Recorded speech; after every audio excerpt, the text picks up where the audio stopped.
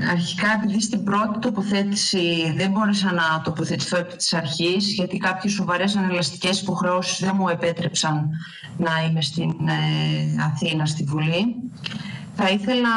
ε, ε κυρίως θα, σήμερα στη σημερινή τοποθέτηση θα κάνω την επί της αρχής τοποθέτηση που δεν κάναμε στην προηγούμενη επιτροπή, γιατί δεν θέλω και να κουράσω να εξαντλήσω τον χρόνο, επειδή καταλαβαίνω και ότι μέσω της τηλεδιάσκεψης ε, δημιουργείται μια σχετική δυσκολία. Ε, θα μου επιτρέψετε ένα αρχικό σχόλιο, επειδή παρακολούθησα στην πρώτη επιτροπή, στην πρώτη συζήτηση, απασχόλησε και τέθηκε και από τον πρόεδρο της Επιτροπής και απασχόλησε τη συζήτηση σε κάποιο βαθμό. Θεωρούμε ότι η καθυστερημένη και με ευθύνη της κυβέρνησης καθυστέρηση της σύλληψης μετά από εννέα μήνες του καταδικασμένου ναζιστή εγκληματία Χρήστου Παπά δεν προσφέρεται ούτε για πανηγυρισμούς, ούτε και για εφησυχασμό που αν θέλετε με κάποιο τρόπο ε, διατυπώθηκε και με την έκφραση ότι κλείνει με αυτή τη σύλληψη ο αιματοβαμένος κύκλος της δράσης της εγκληματικής οργάνωσης. Γιατί θεωρούμε ότι τα απομεινάρια της χρυσής αυγής, αλλά και άλλα φασιστοειδή με όποιο πρόσωπο και αν εμφανίζονται παραμένουν στην υπηρεσία του συστήματος για όποτε τους χρειαστεί και δυστυχώς ιστορικά ε, επιβεβαιώνεται ότι δεν δικαιολογείται αν θέλετε μια τέτοια, μια τέτοια επανάπαυση. Ε, αυτοί που πραγματικά μπορούν να απομονώσουν ε, και να στείλουν εκεί που πραγματικά αν, ε, ανήκουν τους ναζιστές εγκληματίες αλλά και τις παραφιάδες τους είναι οι ίδιοι εργαζόμενοι, οι νέοι μέσα από την οργανωμένη δράση τους και όχι βέβαια αυτοί που τόσα χρόνια τους εξέτρεψαν αλλά και τους ανέχτηκαν. Τώρα σε σχέση με το συζητούμενο νομοσχέδιο ε, για ακόμα μια φορά έρχεται προς ψήφιση από την κυβέρνηση της Νέας Δημοκρατίας όπως βέβαια έχει έρθει προηγούμενα και από το ΣΥΡΙΖΑ και από άλλα αστικά κόμματα. Ρυθμίσεις με βάση ευρωενωσιακές οδηγίες που ναι μεν παρουσιάζονται με τον φανταχτερό τίτλο για την πρόληψη και, ε, και καταστολή της νομοποίησης εισόδων από εγκληματικές δραστηριότητες και βέβαια σε αυτά τα πλαίσια της προτιθέμενης χρηματοδότησης της τρομοκρατίας. Ωστόσο θεωρούμε ότι κάθε τέτοια προσπάθεια αντιμετώπισης της διαφθοράς και της οργανωμένης οικονομικής εγκληματικής δραστηριότητας παραμένει υποκριτική και σε κάθε περίπτωση είναι αναποτελεσματική και αντιφατική σε σχέση με το στόχο της αν δεν αντιμετωπίζονται ταυτόχρονα και οι αιτίες που γεννάνε αυτά τα φαινόμενα. Η βασική λοιπόν αιτία της διαφθοράς κατά τη γνώμη μας είναι ότι οι καπιταλιστικές επιχειρήσεις από τη φύση τους έχουν ζωτική ανάγκη και επιδιώκουν με κάθε τρόπο ε, το κέρδος. Πηγή επομένως της διαφθοράς είναι αυτός ο ίδιος ο αντισόπιτος ανταγωνισμός, η ανάγκη του κεφαλαίου για αναζήτηση της μέγιστης δυνατής κερδοφορίας. Γιατί οι μίσες των εκατομμυρίων δεν έχουν μόνο αποδέκτες όπως για παράδειγμα πολιτικούς, στελέχη του κρατικού μηχανισμού και άλλα που κατά καιρούς απασχολούν την ε, επικαιρότητα, έχουν και αποστολής. Και αποστολής αυτών είναι οι καπιταλιστικές επιχειρήσεις, με το μεγάλο κεφάλαιο που παράγουν, αν θέλετε, ε, τις μίζες, οι επιχειρήσεις που απαιτούν κέρδος και, ε, και χρησιμοποιούν, αν θέλετε, τις μίζες, τη διαφθορά και άλλα τέτοια πολύτιμα εργαλεία για να το, για να το ενισχύσουν. Έτσι, η αντίληψη πως η διαφθορά μπορεί να αντιμετωπιστεί χωρίς να καταπολεμηθεί η γενοσιοργός αιτία της, δηλαδή το κέρδος και ανταγωνισμός, θεωρούμε ότι είναι τουλάχιστον ατελέσφορη και βέβαια βαθιά αποπροσανατολιστική. Γιατί αυτό που θα συμβεί στην καλύτερη περίπτωση, αν εφαρμοστεί αυτή η αντίληψη, είναι τελικά η διαφθορά απλώς να αλλάξει μορφή. Να μετατραπεί από παράνομη σε νόμιμη. Είναι γνωστή αυτή η τακτική, γιατί είναι δεδομένο ότι το κυνήγι του μέγιστου δυνατού κέρδους δεν γίνεται μόνο μέσα από μαύρες παράνομες διαδρομές, αλλά, πλέον, αλλά πλέον τέτοιου είδους δραστηριότητες φτάνουν πολλές φορές και με προκλητικές ρυθμίσεις να νομιμοποιούνται.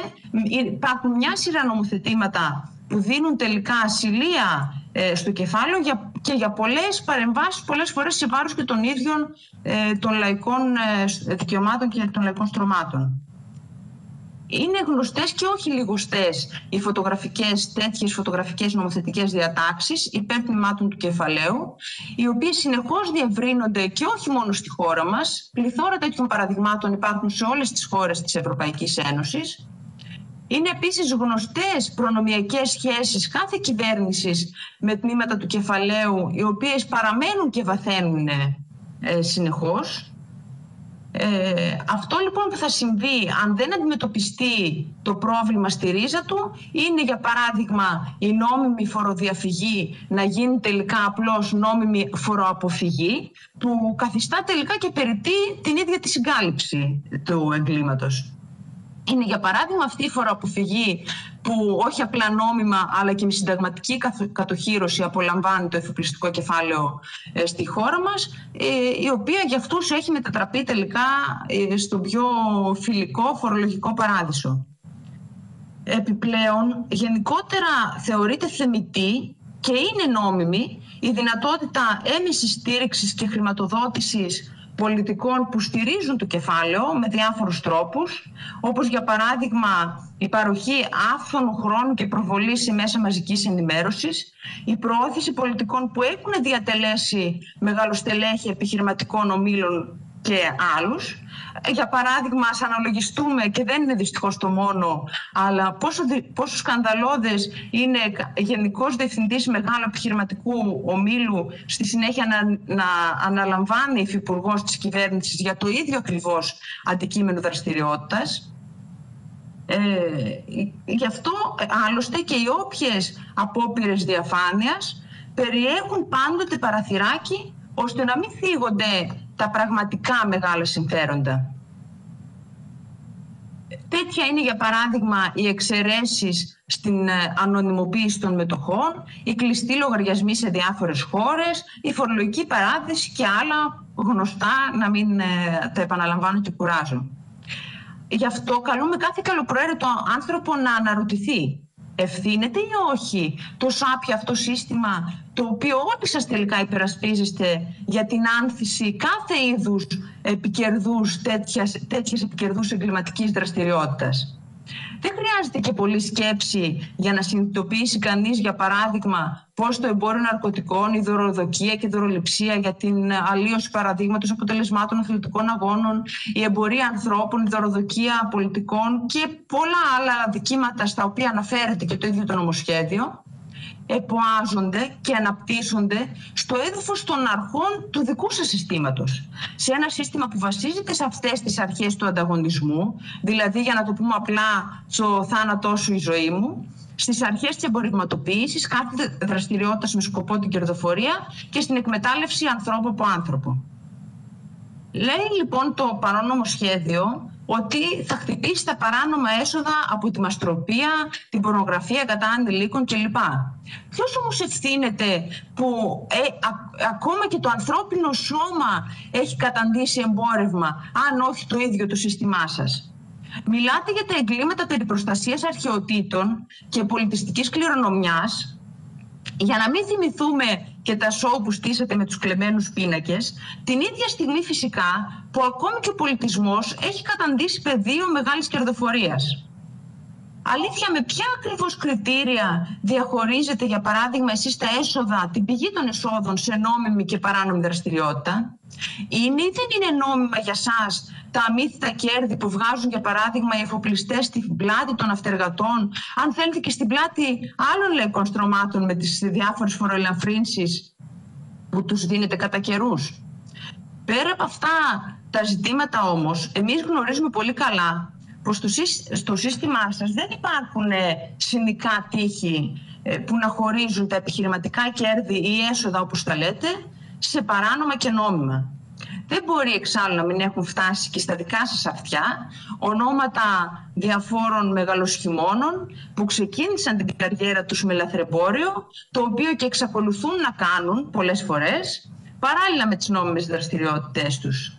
Ή διάφοροι ευπρό, ευπρόσωποι κατά τα άλλα επιχειρηματίες, συνομιλητές και όχι μόνο πολλές φορές με υπουργούς και κυβερνήσεις, που κατά καιρούς μαθαίνουν, μαθαίνουμε ότι παράλληλα με τις νόμιμες business τους κάνουν και λεγόμενε, τις λεγόμενες παράνομες όπως εμπόριο ναρκωτικών και πολλά άλλα.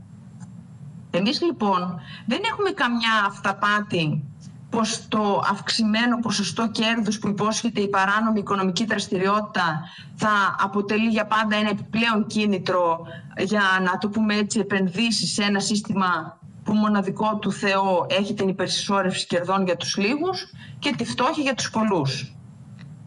Γι' αυτό και με τα μέτρα που εισάγεται, μέσα από ε, συνεχής τροποποιή, ε, τροποποίηση της σχετικής νομοθεσίας, ούτε θέλετε, ούτε μπορείτε τελικά ουσιαστικά να αντιμετωπίσετε το, πρόβλημα. Γι' αυτό αδι, αδιάψευστη απόδειξη αποτελούν και οι συνεχείς νομοθετικές ρυθμίσεις και σε επίπεδο ευρωπαϊκών οδηγιών που διαδέχονται η μία την άλλη και πάντα ε, παρουσιάζονται με, με μεγαλεπίβολους τίτλους και διακηρύξεις αλλά τελικά αποδεικνύεται συνεχώς άνθρακας ο υποτιθέμενος θησαυρός. Ε, αντίθετος φυσικά μας βρίσκουν και οι διατάξεις για την ομιμοποίηση εσόδων από τις λεγόμενες τρομοκρατικές οργανώσεις με την ε, έννοια που πολλές φορές έχουμε αναπτύξει ότι αυτή η έννοια της τρομοκρατικής οργάνωσης και της τρομοκρατίας με βάση τα επίσημα κείμενα αλλά και την ίδια την πρακτική που ακολουθείται στην Ευρωπαϊκή Ένωση έχει μετατραπεί κυριολεκτικά σε λάστιχο. Γιατί ξέρουμε πολύ καλά ότι μια τέτοια ε, ε, έννοια μπορεί και χωράει σύμφωνα με τα δεδομένα της Ευρωπαϊκής Ένωσης τους πάντες. Ιδιαίτερα δε στο στόχαστρο μπαίνουν αγωνιστές του εργατικού λαϊκού κινήματος, η ίδια η ριζοσπαστική σκέψη, μπαίνουν οι κομμουνιστές και οι κομμουνιστικές οργανώσεις τους, τα ίδια τα κόμματά τους. Όσον αφορά ε, και να κλείσω με αυτό της ε, διατάξεις του δεύτερου μέρους του νομοσχεδίου. Ε, πρώτης όψεως δεν είμαστε αρνητικοί, ωστόσο θεωρούμε ότι οι αλλαγές που εισάγεται είναι αποσπασματικές.